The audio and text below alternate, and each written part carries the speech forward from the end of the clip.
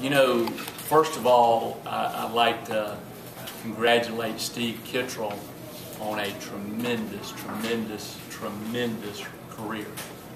Won like 1,050 games. Been great for the Sun Belt Conference. A first-class human being. Team is always first class the way they play. So I congratulate him on a tremendous career, without a doubt. Um, you got to give these two guys to my side a lot of credit. RJ went out there, you know, starting out 0-0, and you know he got the guys out. He got a lot of first hitters out of innings. He got some of their key guys out. He got Overstreet to hit into two double plays, which are huge at the particular time right there. And you never know. You get a ball that goes in the gap for a double, and there's two runs here, two runs there, and it could be a world of, of a different game. Uh, but our guys came out, swung the bat, they were ready to play, absolutely. And Rudy just had a, a great game swinging the bat, knocked in five runs. Uh, a lot of he, he's really been on it as RJ has. RJ's thrown four or five great outings in a row now, and Rudy's been on it for a solid month, swinging the bat great and getting a lot of big hits. And even when Rudy wasn't going well, we most of the time kept him in that cleanup spot, and that's where he deserves to be. So both of these guys did a great job today, as our entire team did. Yeah, go ahead. We talked yesterday about kind of how this format is not as much controlling your own destiny where you just can win. So to jump up to 2 and 0 is uh, tremendous, and obviously now you put yourself in a spot for the championship game. So how is it? How important was it to jump on this team early, which y'all were able to do, um, knowing with kind of momentum they had going after their game yesterday? Maybe you can answer it, and then Rudy as well. Well, you know, first of all, this is the first time in 34 years of coaching Division One baseball that I've ever coached in this type of format, and there's always a learning curve. And we thought about the first game, Phil Haig or, or Kyle Fitzpatrick. We weren't exactly sure which way we were going to go. We were going to maybe try to stay on rotation, you know, Friday, Saturday, Sunday, and thank goodness we didn't. Thank goodness somebody from up above told me what to do because, you know, Troy plays one game and they're eliminated before they play their second game. Mm-hmm. And so I'm, I'm glad I wasn't that, you know, unintelligent not to, to do that. So it was a good decision on our part, the way we went with our pitching and everything like that. And, you know, if your number one's available, your number two is available, that's who you throw. And uh, that's a big deal. So it, there is a learning curve. And, yeah, getting out to a, a good lead, you know, 7 nothing right off the bat, all Crenshaw, because he threw pretty well in Miami against us.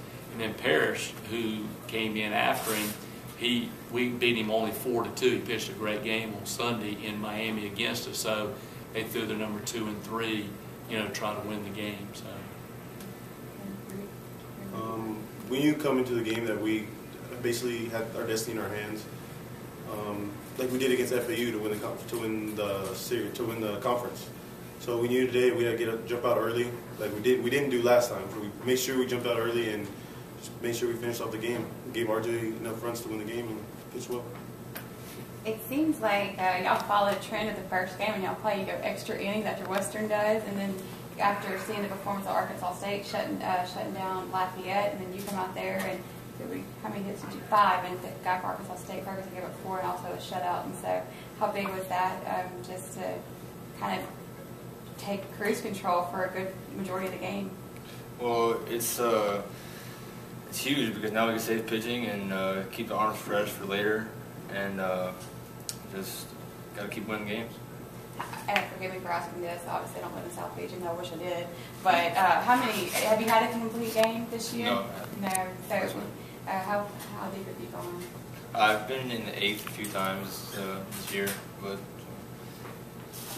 Were you just feeling it? And Yeah. I guess the, the run support had to help as well. Oh, having run support is huge. It takes a uh, huge weight off your shoulders when you're pitching. And uh, today, just located some balls good and had every pitch working pretty well. So I know that y'all were purged for a possibility of taking the outright uh, regular season Sun Belt title uh, there up until the last weekend. Now you've given yourself a chance being back in the, the conference uh, tournament championship. How big is this? I know that probably after last weekend, this is kind of where y'all set y'all's goals. And so how big is it to go ahead and take care of business really early on, know that you control your destiny and they're in the driver's seat uh, come Sunday, coach first? You know, the Sun Belt is, I think, the fifth best RPI conference in the country, and it's a really good baseball league, and you've got nine good coaches, you know, on those other teams that are really good, really good people and everything, and it's a competition day after day after day, and, you know, I think every team sets their sights in the beginning of the year to hopefully win the conference, and I think that was internally with our players, one of the things that we wanted to do, and it's nice to get, you know, to the final game and everything, and, you know, now we need to go out and play a good baseball game and play well. And we told our players the other day, I think the two most improved teams in our league are Arkansas State and UALR, and they indeed are that very, very thing. Um, every team in the conference is a good team. They can come out any day and beat any team in the league, like you've seen Pat during the conference tournament. So, I mean, it was a blessing that we got here. It was our goal from the beginning of the season, and hopefully we'll continue and have a good game on Sunday and as well as tomorrow. Yeah, about tomorrow. I know that obviously it's still a game. You still kind of have to keep that whole energy going. But how do you approach tomorrow? Well, right now, I think we have, if I'm correct, 39 victories, and to me, 40 sounds a heck of a lot better than 39. So there's not been one game all year we didn't go out to win, and we're going to go out to win that game tomorrow, um, you know, as best we can. That's what our goal is, and we try to win every baseball game.